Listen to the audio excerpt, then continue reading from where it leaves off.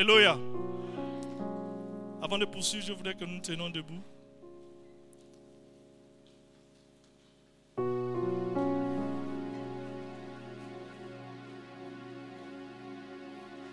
Je voudrais maintenant que pendant 30 secondes, nous acclamons le Seigneur.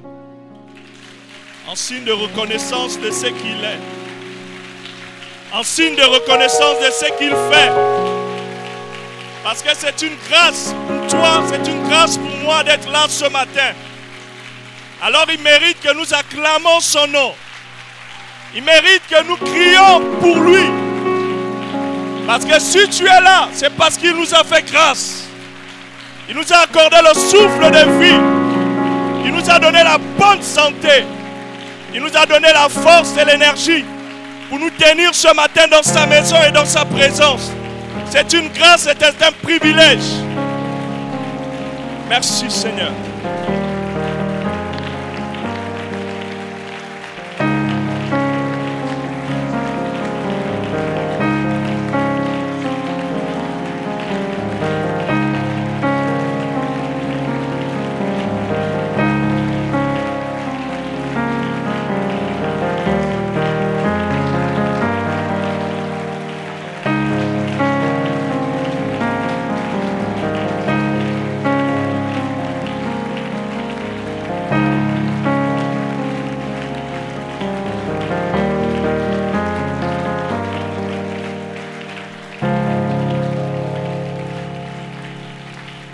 Alléluia.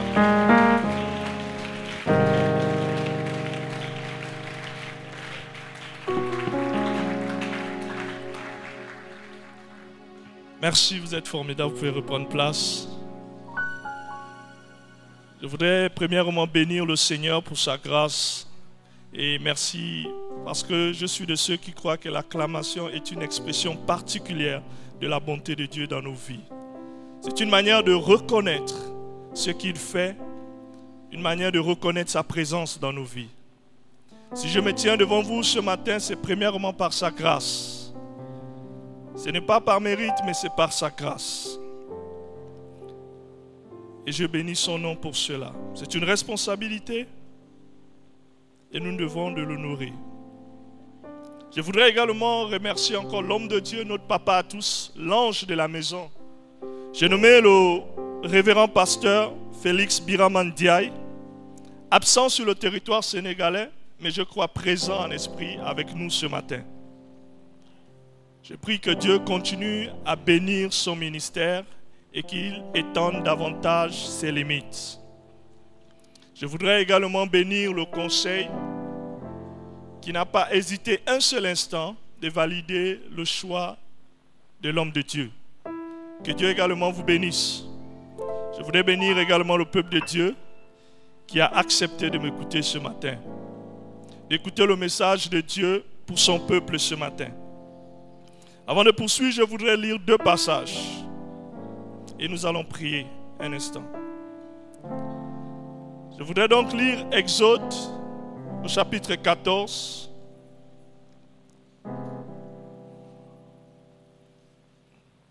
On va revenir au verset 13 pour comprendre de quoi il s'agit. Le deuxième passage sera dans le livre de Philippiens au chapitre 2 à partir du verset 9. La Bible déclare, Moïse répondit au peuple, ne craignez rien, restez en place et regardez la délivrance que l'Éternel va vous accorder en ce jour. Car les Égyptiens que vous voyez aujourd'hui, vous ne les verrez plus jamais. Au verset 14, il est dit, c'est Moïse qui continue à parler. Il dit, l'Éternel combattra pour vous.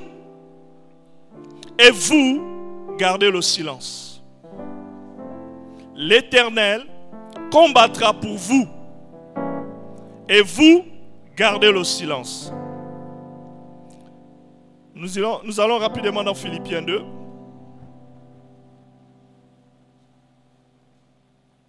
Philippiens 2 au verset 9 nous dit, C'est pourquoi aussi il s'agit de Christ, notre Seigneur et notre Sauveur. C'est pourquoi aussi Dieu l'a souverainement élevé et lui a donné le nom qui est au-dessus de tout nom. Virgule. Afin qu'au nom de Jésus, tout genou fléchisse dans les cieux, sur la terre et sous la terre. Et que toute langue confesse que Jésus-Christ est Seigneur à la gloire de Dieu le Père. Nous allons baisser nos têtes et prier. Notre Père et notre Dieu, nous te bénissons pour ta grâce. Nous te bénissons pour ta bonté, ta fidélité. Nous te remercions, Seigneur oh Dieu, pour ta présence ce matin. Nous te remercions, Seigneur, pour l'œuvre que tu as accomplie depuis ce matin et que tu acheveras avec excellence. Nous te bénissons, Seigneur, oh Dieu, pour ta parole. Seigneur, ce matin qui, je le crois, transformera nos vies. Ta parole, je le crois, relèvera la tête de quelqu'un. Ta, parole ce matin, je le crois, restaurera la vie de quelqu'un. Je te bénis, Seigneur, de ce que tu as porté un regard de compassion, un regard favorable, un regard d'amour sur ma modeste personne. Parce que tu as résolu de m'utiliser simplement comme un canal. Et je réponds par l'affirmative. Seigneur, fais de moi ce que tu as résolu ce matin et accomplis ton œuvre. Gloire, honneur à toi. Au nom de Jésus. Amen. Amen. Peuple de Dieu, ce, ce dimanche est le premier dimanche du mois de juillet. Et depuis le début d'année, le Seigneur nous a donné la vision pour l'année, pour cette église. Et au travers de cette vision, il nous a donné des sous-thèmes qui sont des équipements qu'il nous donne à chaque étape de notre avancée dans l'année. Et ce mois, c'est le mois du combat. Je dirais plutôt c'est le mois de la victoire. Ce mois, il est dit l'établissement divin et la gestion de l'adversité. Deux points. Le mois de la victoire sur toute adversité. Amen. Et depuis mardi, nous avons commencé à développer ce thème. Et nous avons parlé de la gestion, de l'adversité, notre attitude dans l'adversité. Mais ce matin, je voudrais nous parler plutôt de la victoire dans l'adversité. La victoire sur l'adversité. J'ai intitulé le thème Ta victoire sur l'adversité prendra deux. Trois points de suspension. Parce qu'ensemble, nous allons remplir la suite. Par la grâce de Dieu. Il y a plusieurs choses. Le Seigneur, tout au long que nous parcourons son texte, il nous donne l'attitude, les armes, le comportement, ce que nous devons faire afin d'avoir la victoire sur toute adversité. Mais le temps qui nous est imparti ne nous permet pas de survoler tous ces points. Alors nous allons simplement voir trois aspects. Trois aspects. Au début, nous avons lu un passage, deux passages. Pourquoi? Il est important de comprendre que la victoire dont il s'agit là, la victoire que le Seigneur a promis pour son peuple pendant ce mois, sur toutes les adversités, nous l'obtiendrons que par lui. Il est important de comprendre que ce n'est pas par ma force, ce n'est pas par les moyens ou la sagesse humaine que nous arriverons à la victoire promise par le Seigneur. Il est important de comprendre également que ce n'est pas au nom de ta famille que tu arriveras à faire face à toute adversité. Mais c'est par le nom d'un seul c'est par le nom d'un seul et unique Seigneur. Et nous le connaissons tous. Parce que ce qu'il a fait, ce qu'il a accompli, ce qu'il a opéré, Personne d'autre n'a pu le faire. Et personne d'autre ne pourra le faire. Ce qu'il a fait pour toi, ce qu'il a fait pour moi est unique, est incomparable. La Bible nous dit, ça ce n'est qu'une partie, que des riches qu'il était, il s'est fait pauvre pour toi. Des riches qu'il était, il s'est fait pauvre pour moi. Il a accepté de descendre. Il a accepté l'humiliation. Il a accepté d'être flagellé pour nous. Ce qu'il a fait, l'ennemi ne pouvait même pas le comprendre. C'est Jésus. La Bible nous dit que c'est pourquoi, à cause de l'œuvre qu'il a accomplie, à cause de son humilité, c'est pourquoi il a été souverainement élevé. Souverainement élevé et reçu le nom qui est au-dessus de tout nom.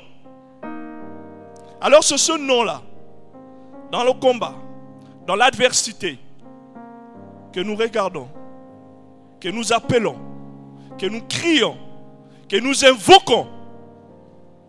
Voilà pourquoi nous avons lu ces deux passages, pour comprendre ces faits. Que cela ne dépend pas de toi, cela ne dépend pas de moi. La victoire dépend de notre Seigneur Jésus. Pendant la semaine, nous avons compris que l'adversité est multiforme. Que l'adversité, c'est tout ce qui va à l'encontre de quelque chose. Donc l'adversité, en quelque sorte, est relative à tout un chacun. L'adversité que tu vas faire face peut ne pas être une adversité pour moi aujourd'hui. Et ainsi de suite. Tout au long de la semaine, nous avons compris qu'il y a différents types d'adversité. Et les deux plus grands groupes étaient l'épreuve et la tentation. Mais il y en a bien d'autres. Il est important de savoir qu'il y a l'épreuve, est une adversité, la tentation est une adversité. Et souvent on se dit, à quoi nous avons face aujourd'hui? Nous parlons d'adversité, mais souvent nous ne comprenons pas de quelle adversité il s'agit. Et encore le mardi, nous parlions de cela. Nous disions qu'il est primordial, il est important, il est nécessaire d'arriver à distinguer de quelle adversité nous sommes en train de faire face. Il est important de savoir est-ce qu'il s'agit d'une épreuve? Ou est-ce qu'il s'agit d'une tentation? Parce que de là dépendra ton attitude. Cela dépendra de ton comportement. S'il s'agit d'une tentation, il y a une attitude. Et s'il s'agit d'une épreuve, il y a également une autre attitude.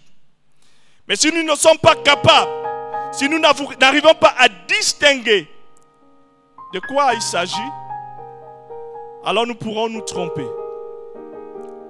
Nous pourrions alors nous mélanger les pinceaux, comme on dit. Et bien aimé, l'adversité, ou encore l'épreuve, ou encore la tentation, pour le cas de l'épreuve, vient de Dieu. Mais celle, elle peut aussi venir de toi-même. Tu peux te mettre personnellement à l'épreuve. Parce que tu as envie d'atteindre un certain but. En fait, l'épreuve est positive. Qu'importe les circonstances. Qu'importe dans quel état tu te trouves lorsque tu es éprouvé. Mais l'épreuve est positive. Parce que l'épreuve a un but pour te relever. L'épreuve vise à t'amener à une nouvelle dimension. L'épreuve vise à t'amener à atteindre une nouvelle attitude, un nouveau comportement. La tentation, elle, elle est négative. Voici simplement comment nous pouvons faire premièrement de prime abord la différence entre l'épreuve et la tentation.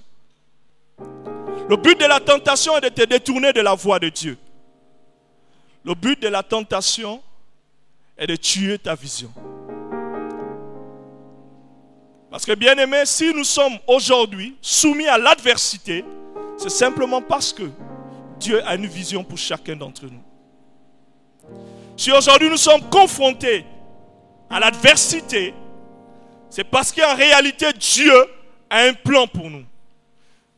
La vision de Dieu sur notre vie est si grande.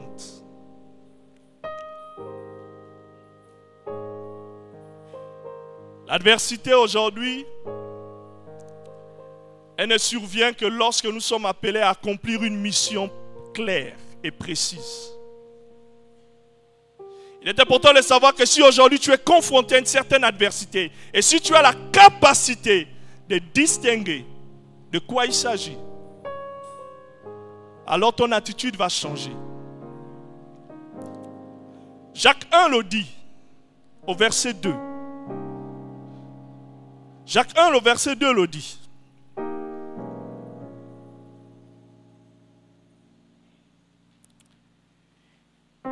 Il dit, mes frères, regardez comme un sujet de joie complète les diverses épreuves auxquelles vous pouvez être exposés.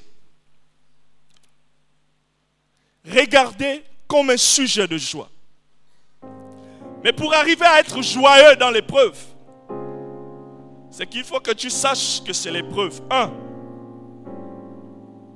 Et ayant compris que c'est l'épreuve, tu sais qu'elle est bonne. Tu sais que si je suis éprouvé aujourd'hui, c'est parce que Dieu me réserve quelque chose. Sachant ces choses, mon attitude change face à l'épreuve. Je ne veux point me lamenter, je ne veux point murmurer, je ne veux point crier au secours.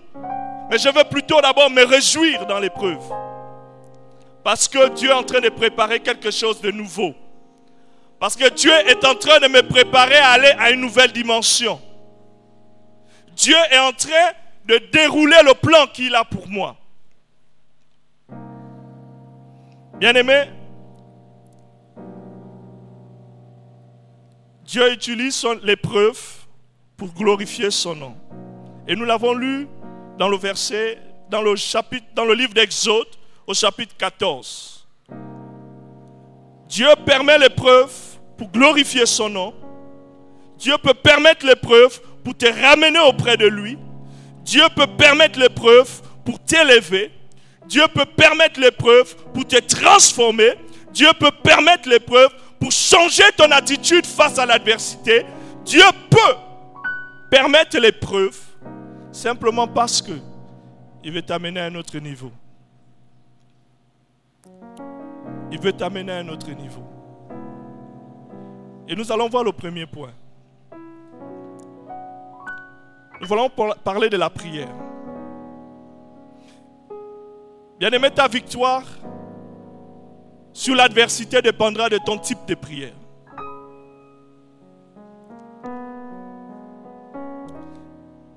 Ta victoire sur l'adversité dépendra aussi de ton type de prière. La Bible nous dit, et c'est un verset que nous connaissons tous, dans le livre de Matthieu au chapitre 7.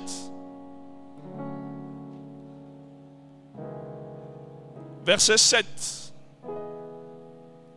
Il dit demandez et l'on vous donnera.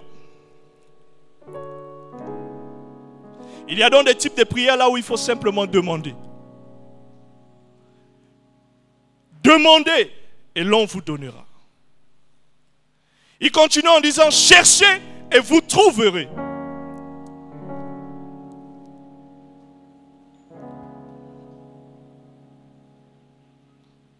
Frappez et l'on vous ouvrira.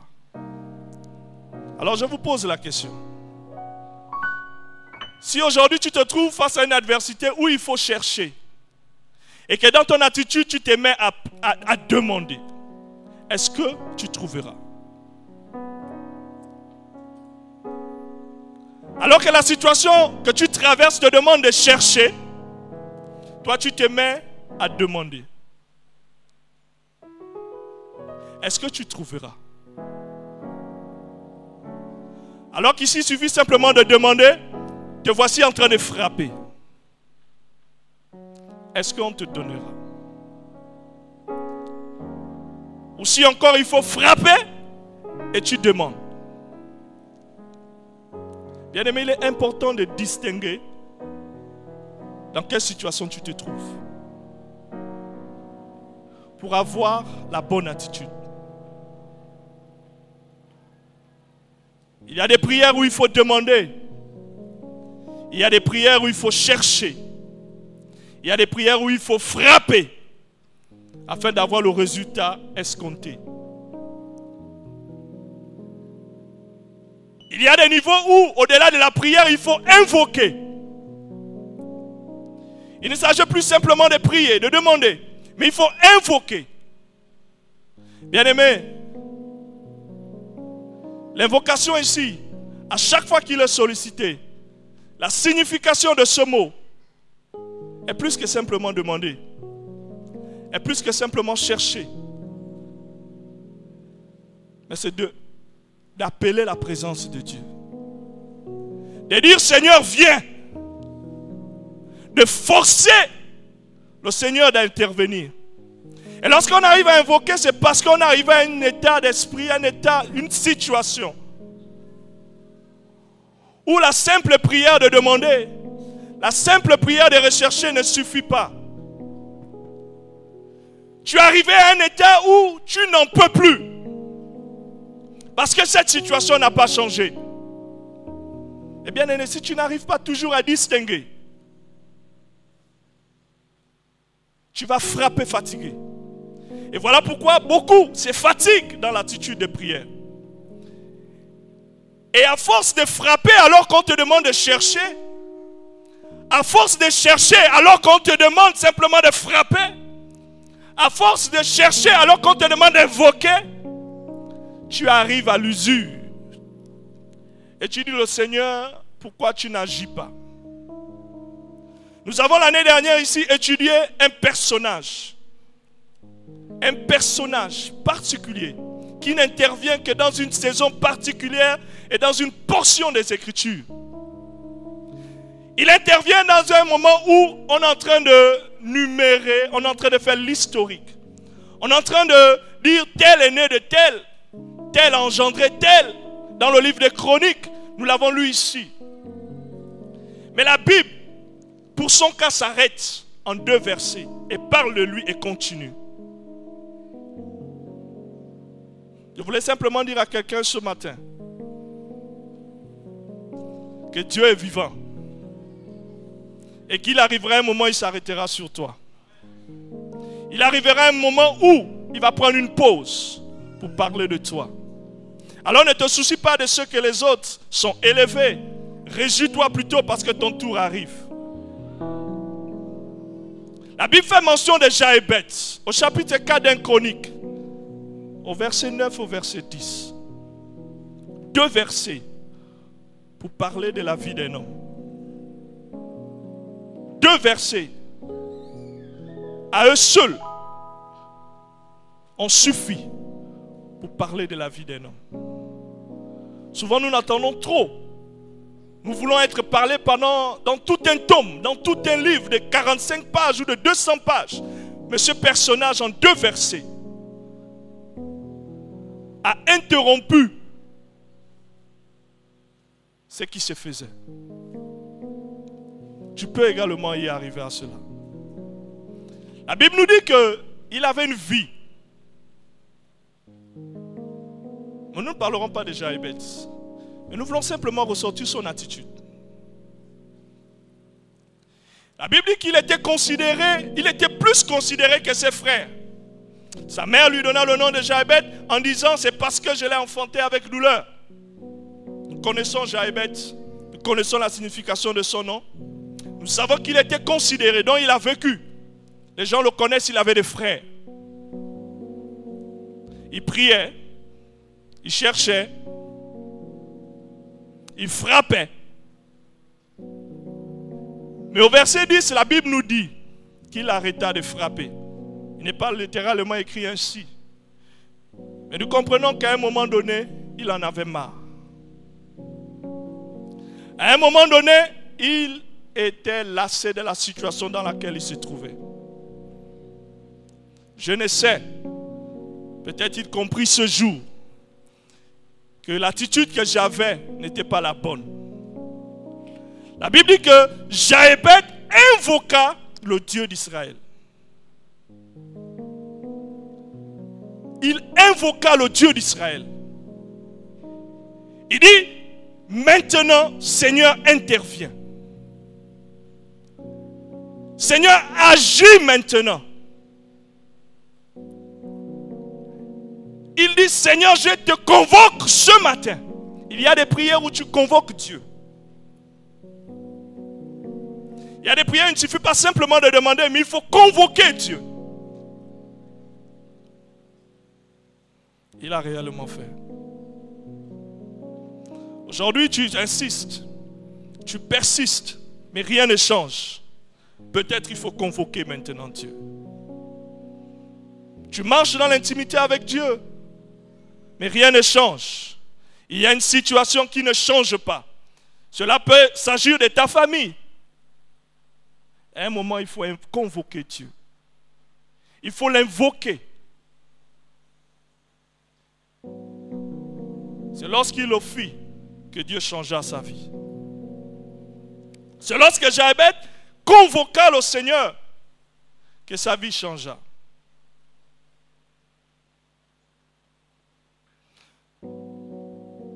Dans, dans le livre de Matthieu, il est parlé. C'est Jésus qui le dit. Alors que ses disciples, au chapitre 17, n'arrivaient pas à résoudre un cas. Bien-aimé, je réitère, ton niveau de prière, de ton niveau de prière dépendra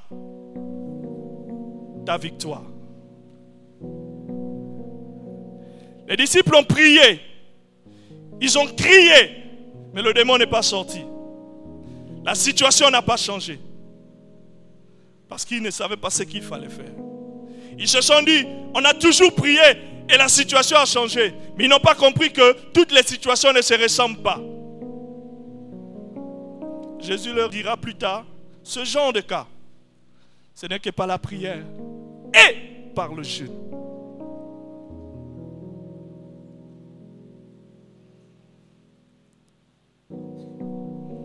Bien-aimés, tout cela nous amène à comprendre qu'il est nécessaire d'avoir une intimité avec Dieu.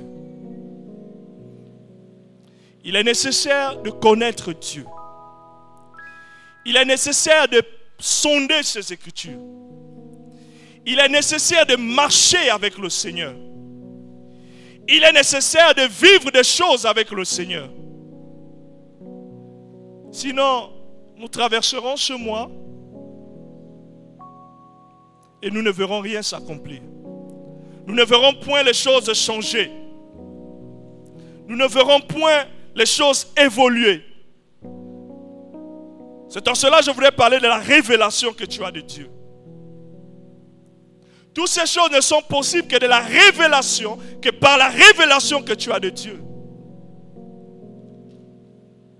Bien-aimé, est-ce que tu viens à l'église simplement parce que depuis que tu es né, tu es toujours venu à l'église en famille Tu as la révélation de ce Dieu familial qui a toujours gardé tes parents. Et depuis que tu viens à l'église, rien ne t'arrive. Ou tu as reçu les histoires sur Dieu. On t'a raconté les bienfaits de Dieu.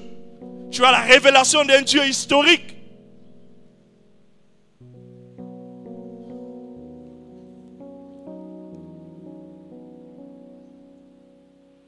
La victoire face à l'adversité.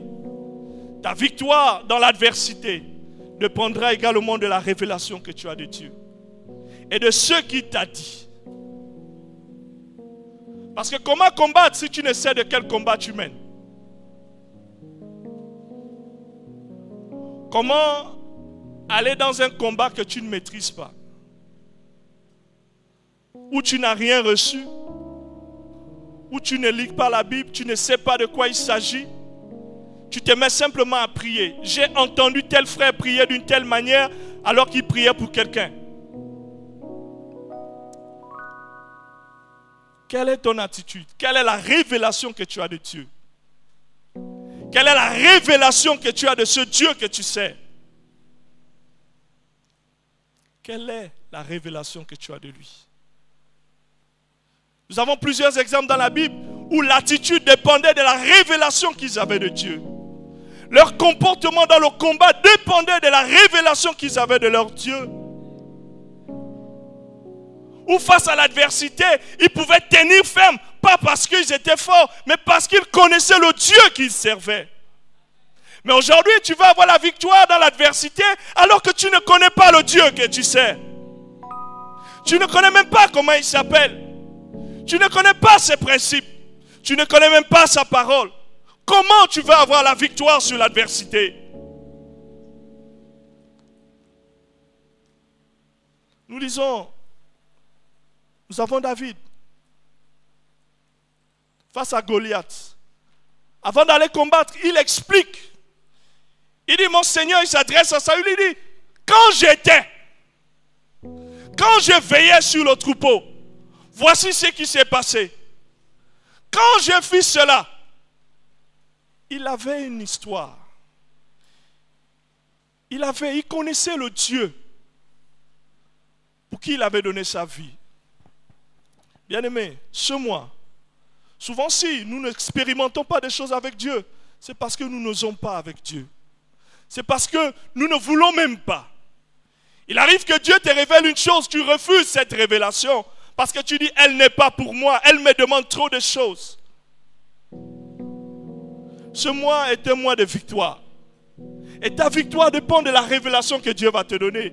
Et il faut accepter cette révélation. Il faut oser pendant ce mois avec Dieu. Aujourd'hui, tu pries une heure, trente minutes, tu arrêtes, tu as toujours agi ainsi. Ce mois, augmente. Augmente, change cela. Décide ce mois de vivre quelque chose de nouveau avec Dieu. Si David est allé face à Goliath, c'est parce qu'il avait expérimenté quelque chose avec Dieu. C'est parce qu'il avait un vécu avec Dieu. C'est bien d'avoir la foi qui s'inspire du vécu des autres, mais elle est limitée.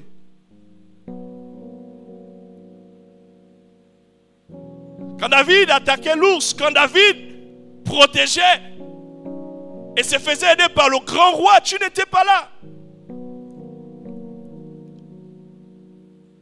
Quand Moïse, dans le livre d'Exode que nous avons lu, pouvait dire au peuple, ne craignez rien. Car l'Éternel combat pour nous. Il savait pourquoi il le disait. Le peuple et Moïse avaient une attitude différente. Le peuple n'avait pas expérimenté ça encore, peut-être. Et pourtant, Dieu avait déjà fait des merveilles en Égypte. Mais il avait vécu à distance. Il n'avait pas vécu dans l'action. Moïse connaissait pourquoi il disait au peuple, restez calme, gardez le silence. Moïse pouvait le dire avec assurance. Mais aujourd'hui, est-ce que tu peux le dire? Est-ce que face à l'adversité,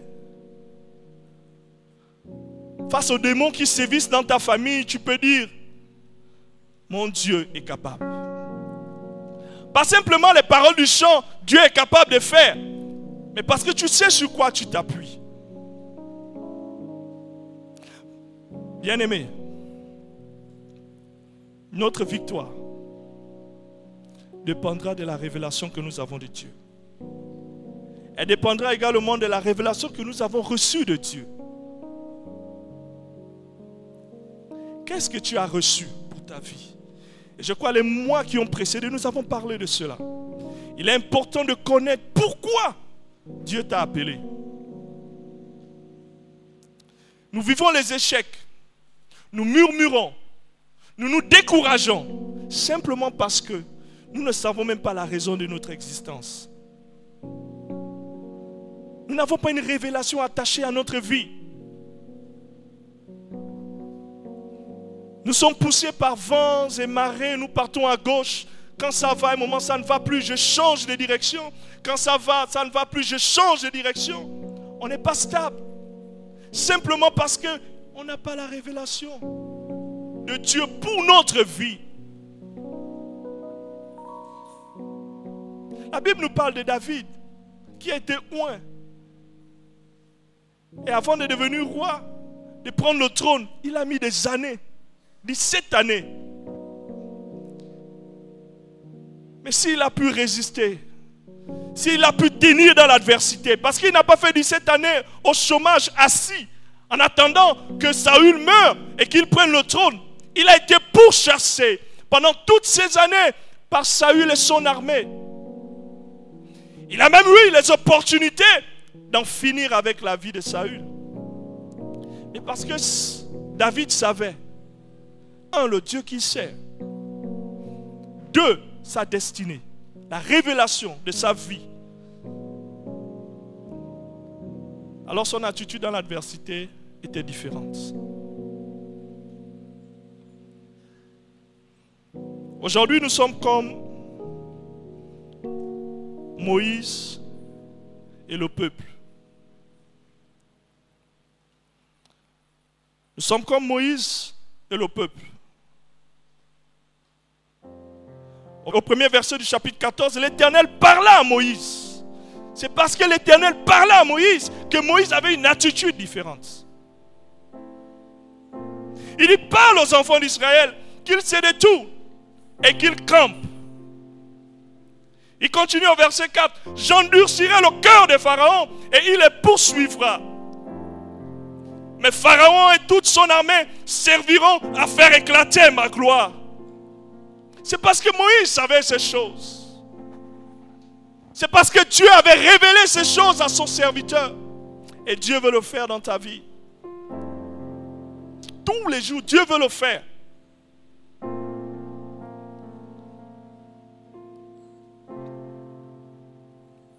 Voilà pourquoi au verset 14, Moïse pouvait dire, l'Éternel combattra pour vous, et vous, gardez le silence. Combien de fois nous sommes face à des situations de détresse financière et nous pleurons, nous stressons, nous crions. Au lieu de demander Seigneur la révélation de cette situation. Et Dieu est capable de te dire, ne crains pas. Garde silence.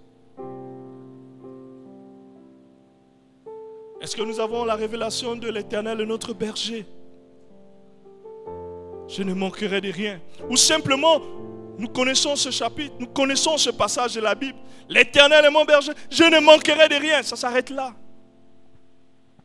Mais est-ce que quand tu es dans le manque, tu peux encore le dire avec assurance?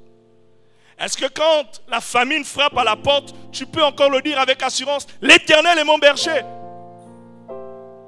Je ne manquerai de rien. David l'a dit parce qu'il savait pourquoi il le disait. Mais est-ce que aujourd'hui nous le disons? Est-ce qu'aujourd'hui nous le disons?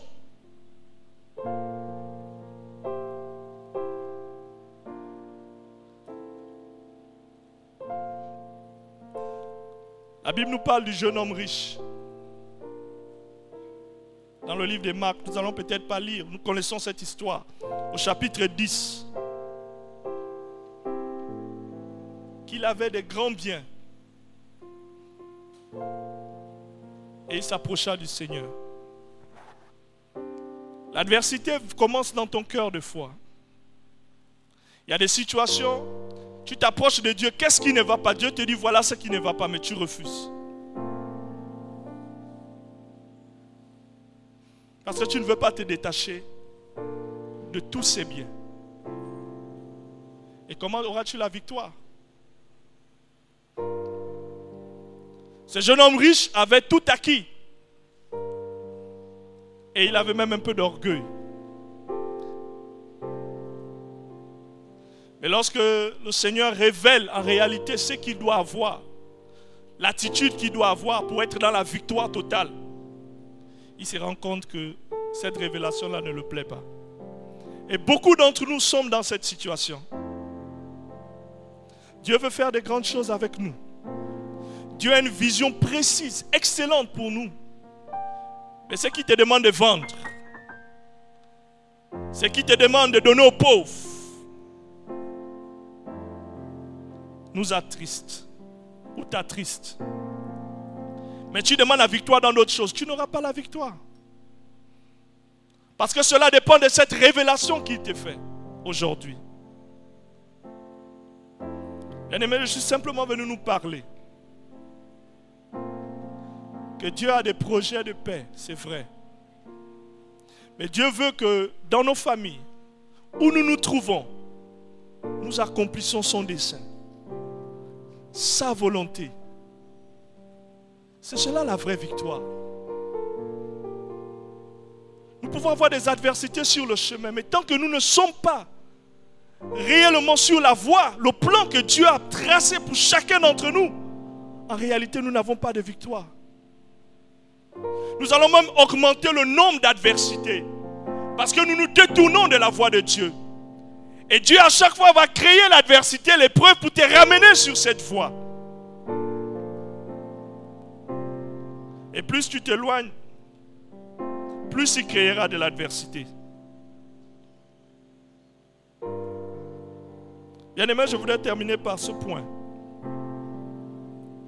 Notre persévérance, notre endurance et notre patience dans l'adversité. Nous avons compris qu'il est primordial d'avoir pour notre vie ce que Dieu a prévu, de connaître cela. Alors nous devons chercher le Seigneur pour cela.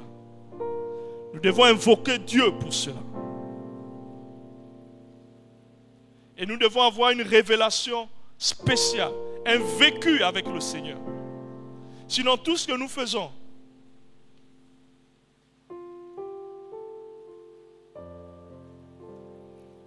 nous décourager.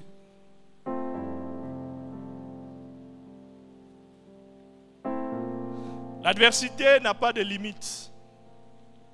La durée de l'adversité, nous ne, le savons, nous ne pourrons le dire. Je ne pourrais me tenir et dire que l'adversité c'est pour deux jours ou l'adversité c'est pour une semaine. Cela dépend de la vision que Dieu a pour toi.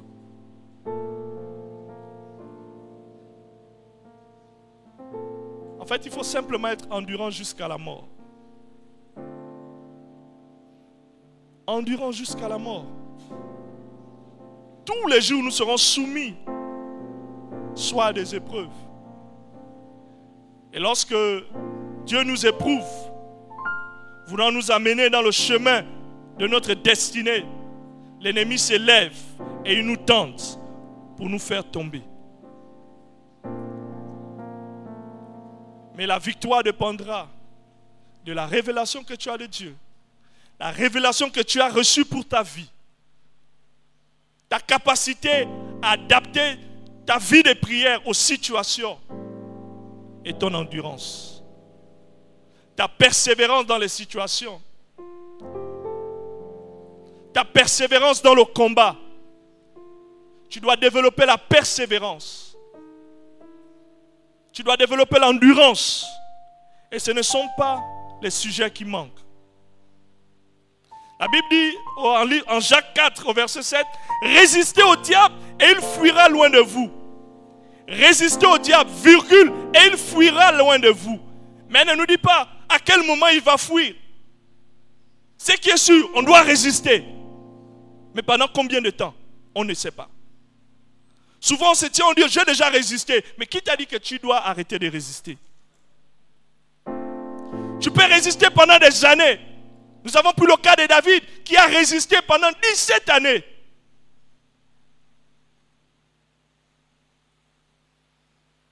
Résistez au diable. Et il s'enfuira loin de vous. Mais à quel moment? Je ne le sais. À quel moment? Je ne le sais. La Bible nous informe simplement de résister. Maintenant, s'il fuit, que tu as la certitude qu'il a fui. Même face à Jésus, la Bible nous dit que après l'avoir tenté, il se retira. On peut dire il a fui. Mais en attendant une autre occasion. Le diable s'est retiré en attendant une autre opportunité de tenter. Donc les opportunités de tentation ne vont pas manquer dans nos vies. Mais la Bible t'informe qu'il faut résister. Pour certains cas, il te dit même qu'il faut fuir. C'est aussi ça être persévérant. Ce mois, tu as fui cet homme. Bizarrement, sur le chemin, tu croises un autre homme encore. Tu fuis encore. Ne te dis pas que parce que tu verras le troisième homme, peut-être c'est la volonté de Dieu. Tu te diras, si Dieu a permis que je fuis un, je fuis deux, le troisième, peut-être c'est la volonté de Dieu. Qui t'a dit? Mais si tu n'as pas la révélation de Dieu, si tu n'as pas une intimité, si tu n'as pas une vie de prière, si tu ne parles pas, ne communiques pas avec Dieu, il te sera difficile de savoir s'il faut continuer à fuir.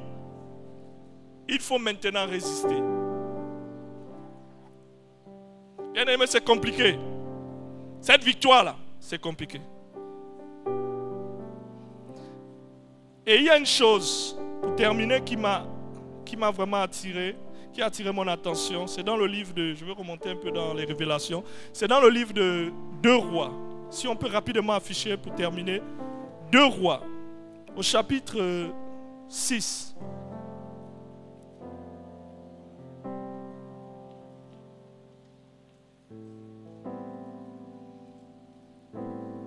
À partir du verset, on va prendre à partir du verset, bon, le verset 8. C'est une situation, c'est une histoire que nous connaissons. Il s'agit d'Élysée.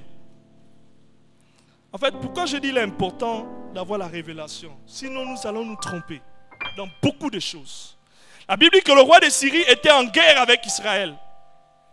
Et dans son conseil, il découvra qu'à chaque fois qu'il voulait attaquer Israël, Israël avait toujours le devant. Et il s'est rendu compte, on lui a révélé qu'en principe, il y avait un prophète, il y avait un homme de Dieu. C'est lui qui entend et répète les paroles que tu dis dans, dans ta chambre au roi d'Israël. Il dit, ah bon, alors j'attaque ce type. Il va avec toute une armée. Toute une armée pour attaquer Élisée. Élisée était avec son serviteur. Nous allons lire rapidement à partir du verset 15. Donc, le roi de Syrie arrivait de nuit et enveloppa la ville où se trouvait Élisée. Et le serviteur de l'homme de Dieu s'éleva de bon matin et sortit. Et voici une troupe entourait la ville avec des chevaux et des chats. Et le serviteur dit à l'homme de Dieu, Ah mon Seigneur, comment ferons-nous? Le serviteur est comme celui-là, en fait, qui ne connaît pas Dieu qui ne sait pas de quoi Dieu est capable. Et pourtant, il est tout le temps avec l'homme de Dieu. C'est bien d'avoir la foi attachée à la vie ou, je ne sais pas, à l'intimité de l'autre. Parce que beaucoup s'attachent simplement au prophète parce qu'il a fait des choses. Mais en réalité, ne cherchent pas à vivre également les expériences avec ce Dieu-là. Et malheureusement, on se contente simplement d'écouter les histoires les succès, les, expériences qu'a vécu l'homme de Dieu. Mais toi, Dieu veut aussi le faire. Alors qu'il vivait tout le temps, il marchait avec Élisée, il lui peur. Il dit, que ferons-nous? Élisée répondit, ne crains point, car ceux qui sont avec nous sont en plus grand nombre que ceux qui sont avec eux. Ne crains point. Bien-aimé, lorsque tu as la révélation de Dieu, le Dieu que tu sers, tu le connais. Aucune adversité ne te fera peur. Lui, il avait déjà vu la solution pendant que le, serviteur cherchait comment fuir. Il dit, Élisée pria. Et ça, je demande aux hommes de Dieu de temps en temps, prions le Seigneur, priez le Seigneur pour que Dieu ouvre les yeux de ceux qui sont à côté de nous. Peut-être cela les aidera à rechercher cette vie. Élisée priait et dit, Éternel, ouvre ses yeux pour qu'il voit Et l'Éternel ouvrit les yeux du serviteur qui vit la montagne pleine de chevaux et de chars de feu autour d'Élysée. Mais ce que je voulais nous dire, pourquoi il est important de connaître le plan de Dieu, avoir la révélation de Dieu? Les Syriens sont descendus. Élisée a dit frappe-le d'aveuglement. Ils sont frappés d'aveuglement. Arrivé au niveau d'Élysée, Élysée leur dit non, l'homme que vous cherchez là, il se trouve là-bas. Élisée les dirige en Samarie, dans la gueule du loup. Ensuite, Élisée dit, ouvre leurs yeux, Seigneur. Hmm. Élisée dit à l'Éternel, ouvre les yeux de ces gens pour qu'ils voient. Et l'Éternel ouvrit leurs yeux. Et ils virent qu'ils étaient au milieu de Samarie. Le roi d'Israël, en le voyant, dit à Élisée, frapperai-je, frapperai-je, mon père? Bien-aimé, quelqu'un qui cherche à te tuer, et aujourd'hui, il est entre tes mains.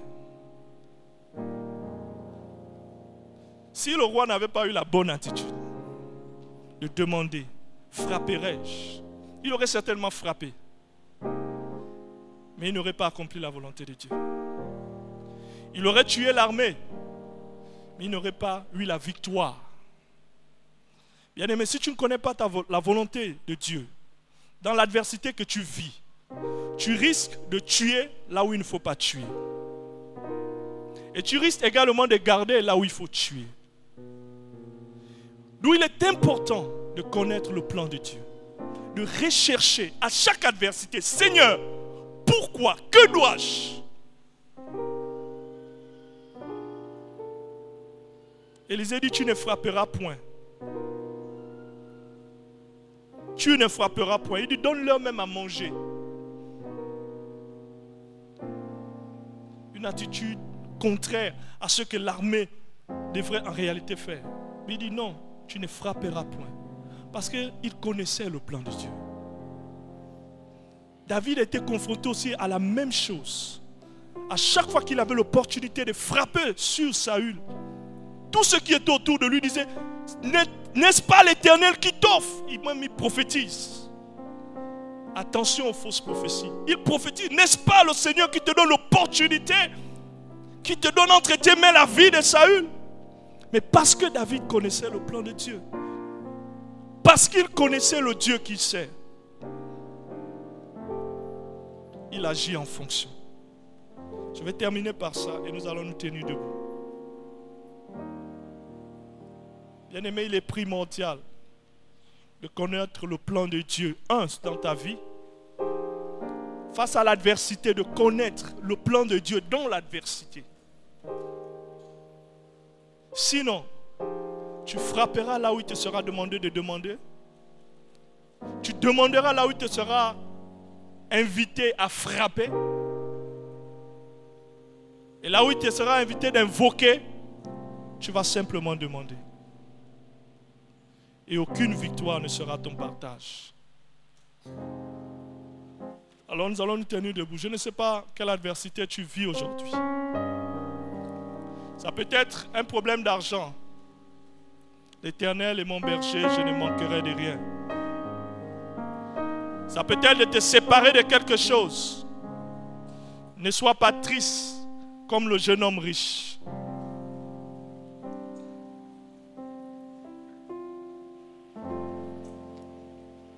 Je n'aurai qu'un seul sujet.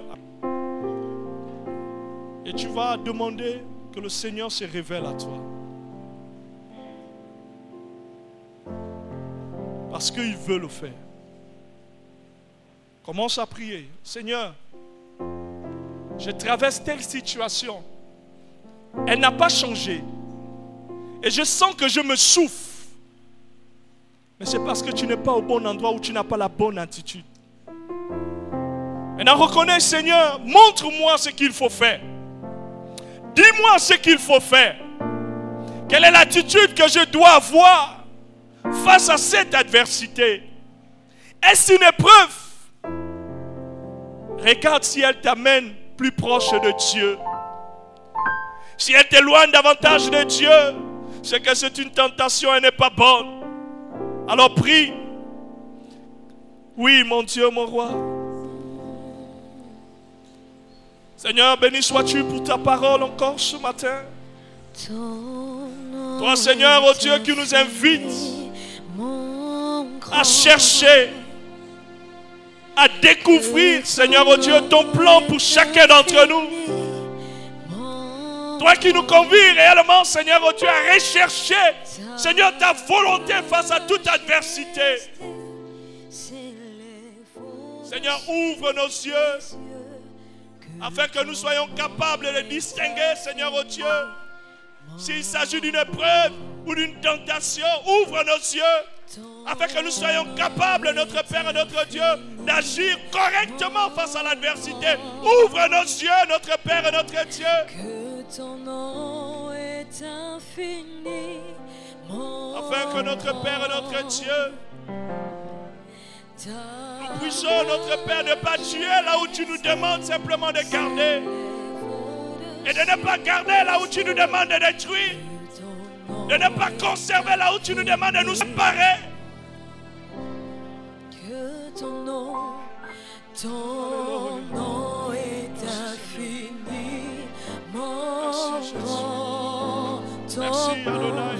que ton nom Merci, Seigneur, pour est ta grâce. Ton nom est infiniment grand. Merci de disposer à toutes choses. Merci, Seigneur. Alléluia. messages.